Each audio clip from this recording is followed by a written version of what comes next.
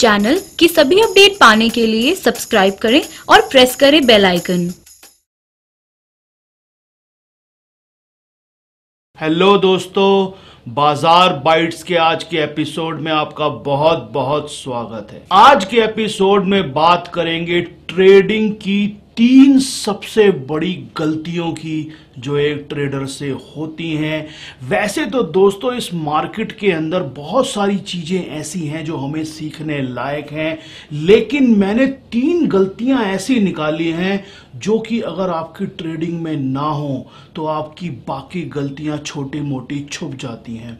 तो उन तीन गलतियों की जो लगभग हर ट्रेडर से होती हैं, उसकी बात करेंगे इस वीडियो में। तो चलिए शुरू करते हैं आज के वीडियो को।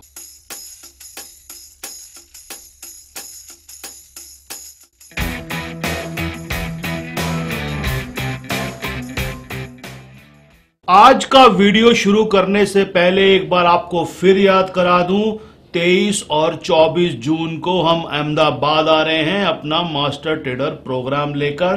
तो जो भी मेरे अहमदाबाद के दोस्त रह गए हैं 9 जून उसकी लास्ट डेट है। स्क्रीन के नीचे हमारी वेबसाइट का एड्रेस आ रहा है, उस पर जाकर वो जल्दी से जल्दी अपनी सीट को लॉक करें।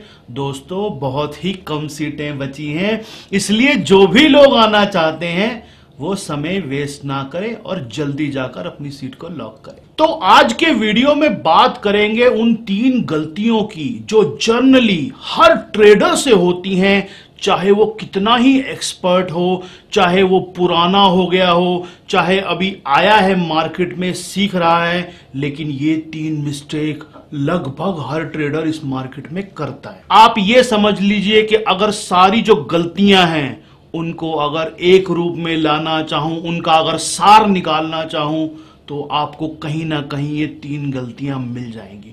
उसमें सबसे पहली जो गलती होती है एक ट्रेडर से वो ट्रेंड के अगेंस्ट में काम करते हैं। पता नहीं, मुझे समझ नहीं आता, मैंने जितने भी लोगों को देखा है, जिन लोगों ने इस मार्केट में लॉस खाया है, उनमें मैं भी था कभी, उनमें एक ये चीज़ आपको हमेशा मिल जाएगी कि वो हमेशा ट्रेंड के उल्टा काम करते हैं। मतलब अगर कोई स्टॉक ऊपर जा रहा है तो वो बेच रहे होंगे उसको। कोई स्टॉक नीचे आ रहा है तो खरीद रहे होंगे वो उसको। ये एक्चुअली इतनी छोटी सी बात है कि अगर कोई चीज़ ऊपर जा रही है तो हमें उसको लेना होता है। कोई चीज़ नीचे आ रही है तो उसको बेचना होता है या उसमें से बाहर निकलना होता है। लेकिन ये इतना बड़ा साइकोलॉजिकल पॉइंट है और इस पे जीत पाना दोस्तों बहुत मुश्किल है। सिर्फ़ इतनी छोटी सी बात समझना कि हवा की दिशा के साथ ही पैसा बनता है। सालों लग जाते हैं इस चीज़ को समझने में कि हवा की दिशा के उल्टा पैसा नहीं बनता। शुरुआती स्टेज में मेरे साथ भी ऐसा होता था।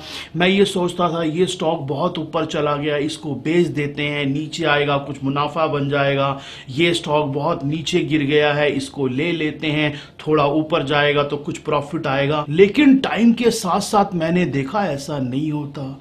जो नीचे जा रहा है, वो नीचे जाता रहेगा। जो ऊपर जा रहा है, वो ऊपर जाता रहेगा। दोस्तों, छोटे से नियम को समझिए सिर्फ़।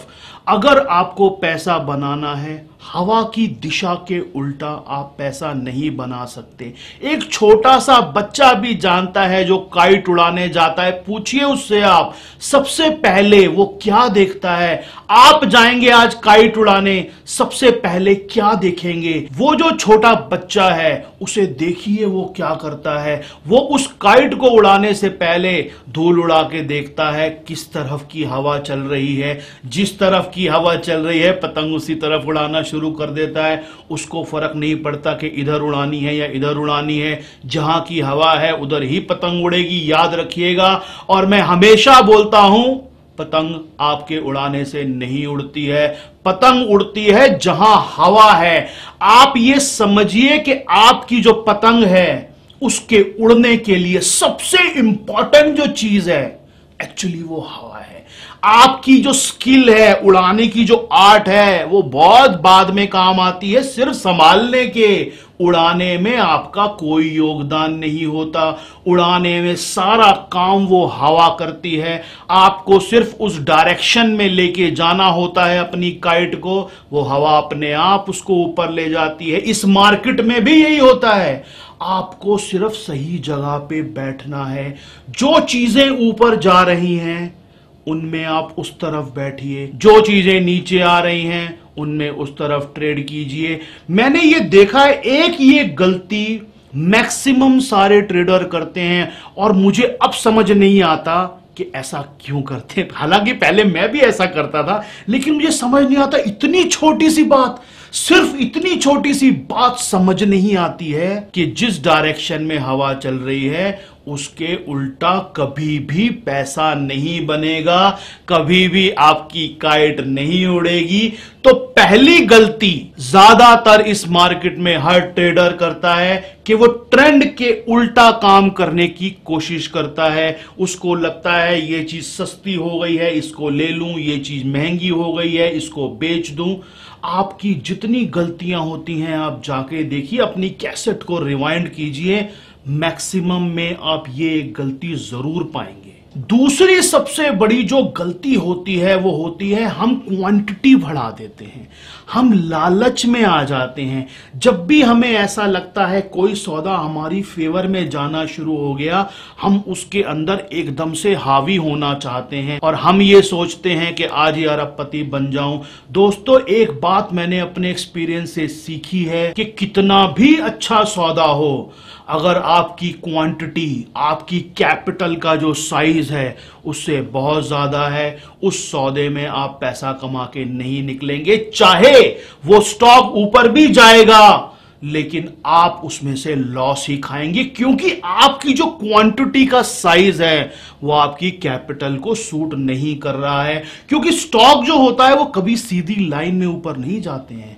वो बीच बीच में नीचे गिरेंगे। उस समय आपकी वो जो साइज़ है क्वांटिटी का, आपको तकलीफ़ देगा और आप जो है, वो पैनिक में आके बाहर निकल जाओगे। और बाद में वही सौदा जो सही था बहुत ऊपर जाएगा और आप सोचते रह जाओगे कि काश ये मेरे पास होता। जितनी भी गलतियाँ इस मार्केट में होती हैं, उसमें से दूसरी सबसे बड़ी गलती ये है, ओवर ट्रेडिंग करना। यानी कि अपनी क्वांटिटी को बढ़ा देना बिना सोचे समझे। जितना आपका कैपिटल है क्वांटिटी उतनी रखिए और ज़्यादा लीवरेज मत लीजिए। आपका ब्रोकर आपको उधार देने को तैयार है पाँच गुना, छह गुना। इसका मतलब ये नहीं है कि वो आपका लॉस भी सह लेगा। लॉस आप ही को सहना पड़ेगा। तो इसलिए ओवर ट्रेडिंग में मत जाइए। अपनी क्वांटिटी को उतना रखिए जितना आप संभाल सकते हो, चाहे आप उस सौदे को लेकर कितने भी श्योर हो। फिर भी क्वांटिटी बिल्कुल मत बढ़ाइए। और तीसरी जो सबसे बड़ी गलती होती है, वो ये होती है कि स्टॉप लॉस को ना मानना या स्टॉप लॉस बहुत ही टाइट रखना, छोटा स्टॉप लॉस रखना, ये हिसाब लगाना कि मेरे इतने पैसे जाने चाहिए, ये सबसे बड़ी मिस्टेक है। एक्चुअली मैंने अपने इतने सालों के एक्सपीरियंस में सीखा है कि स्टॉप लॉस एक तो आपको ज़रूर रखना है, दूसरा स्टॉप लॉस का साइज़ वो होना चाहिए जिसकी संभावना हिट होने की कम से कम हो। ज़्यादातर लोगों के अंदर क्या होता है, वो हिसाब लगाते हैं कि एक परसेंट का रख लेते हैं, पाँच रुपए का रख लेते हैं, सात रुपए का रख लेते हैं। वो स्टॉप लॉस उनका तीन चार बार हिट होता है। स्टॉप लॉस लगाना भी एक तरह की आर्ट है। आपको धीरे धीरे समझ में आएगी। पहली बात तो ये कि स्टॉप लॉस लगाना इतनी समझ होनी चाहिए। मैंने कई लोगों को देखा है, वो कहते हैं, सर, हमने स्टॉक ले लिया और उसके बाद हम बैठे हैं, वो स्टॉक नीचे आ गया। मैंने उनसे पूछा, आप स्टॉप लॉस कोई ऐसा एरिया आपने नहीं सोचा कि मैं यहाँ निकलूं? कह रहे, सर, हमने तो सोचा नहीं। फिर मैं उनसे दूसरा क्वेश्चन पूछता हूँ, जिस दिन ये स्टॉक लिया था, क्या सोचा था? तो वो बोलते हैं, सर, हमने सोचा था दो तीन परसेंट चार परसेंट ऊपर जाएगा, हम काट देंगे। जब आप चार परसेंट का प्रॉफिट आने पे बाहर निकल जाओगे और वो स्टॉक नीचे आ गया दस परसेंट और आप बैठे हैं, क्या सोच रहे हैं आप? मुनाफा यानी कि सिर्फ़ चार परसेंट पाँच परसेंट का। और लॉस आप 10 परसेंट तक देख चुके हैं और फिर भी बैठे हैं। क्या सोच रहे हैं भैया? बाहर निकलिए उसके अंदर से। स्टॉक लेने से पहले रिस्क रिवॉर्ड का हिसाब लगाइए कि अगर पाँच परसेंट चाहता हूँ तो दो परसेंट से ऊपर का लॉस कभी नहीं दूँगा। अगर आपको लगता है आपके स्टॉप लॉस के जो सिस्टम है, उसके हिसाब से इसका स्टॉप लॉस दो परसेंट से ज़्यादा है तो उस सौदे को छोड़ दीजिए। आपको सौदे बहुत मिलेंगे। इस मार्केट में अपॉर्चुनिटी आती रहती है। तो तीसरी सबसे बड़ी यह गलती है स्टॉप लॉस ना लगाना। मालूम उनके काम सुनते ही नहीं है स्टॉप लॉस हम भी कई लोगों को ये बताते हैं, ये स्टॉक ले लो, वो ले लो। वो स्टॉक सुन लेते हैं। स्टॉप लॉस उनको सुनाई नहीं देता। हम साथ में बताते हैं कि ये स्टॉप लॉस लगाना है। बाद में उनसे पूछते लगाया नहीं। बोले, सर, वो तो सुना ही नहीं हमने। हमने सिर्फ़ टारगेट सुना। क्योंकि ये एक साइकोलॉजी है कि हम सिर्फ़ अच्छी चीज़ें सुनना चाहते हैं लॉस हम नहीं लेना चाहते। इसलिए लॉस वाली बात तो हमारे कान में ही नहीं आती। हमारे पिताजी ने हमें सिखाया हुआ है कि बेटा घाटा नहीं खाना कभी भी। इसलिए हम स्टॉप लॉस तो सुनते ही नहीं है। लेकिन इस मार्केट का नियम समझिए, पैसा जुड़ा हुआ है उससे। जितना आप लॉस कम रखेंगे अपना, उतना आपका प्रॉफिट का साइज़ बढ़ेगा। जो खराब सौदे हैं, उनको आपको साथ साथ निकालना ज़रूरी है, जो आपके अच्छे सौदे हैं, उनसे जो आपको आ रहा है प्रॉफिट उसका साइज़ डे बाय डे ऊपर चला जाए। तो आज के वीडियो में दोस्तों हमने बात की तीन सबसे बड़ी गलतियों की। गलतियाँ जैसे मैंने बताया बहुत होती हैं, लेकिन ये तीन गलतियाँ आप लिख के रखिए अपने सामने, अपनी वॉल के ऊपर जहाँ आप ट्रेडिंग करते हैं। याद रखिएगा, अगर आप ये तीन गलतियों को छोड़ देते हैं, इनसे किसी तरह से बाहर आ जाते हैं, आपकी छोटी मोटी सारी गलतियाँ छुप जाएँगी। ये तीन जगहें ऐसी हैं जहाँ पर जाके हर ट्रेडर की मौत होती है, जहाँ पर जाके हर ट्रेडर का लॉस होता है। जितने भी लॉस आपको आज तक हुए हैं पीछे जाके देखिए, उनकी बैकग्राउंड में कहीं ना कहीं आपको इन तीन गलतियों में से कोई ना कोई एक ज़रूर मिल जाएगी। तो आज के वीडियो में इतना ही। आने वाले दिनों में इसी तरह के वीडियो आपके लिए और लेकर आते रहेंगे और कुछ मेजर अनाउंसमेंट लेके आएँगे। अगले हफ़्ते हम अपने इसी चैनल के ऊपर हमारे चैनल के साथ में जुड़े रहिए। वीडियो अच्छा लगा, दूसरों के साथ में शेयर कीजिए और हमें कमेंट सेक्शन में बताइए कि आप और कौन सी तरह के टॉपिक सुनना चाहते हैं। आज के लिए इतना ही। बहुत बहुत शुक्रिया। धन्यवाद नमस्कार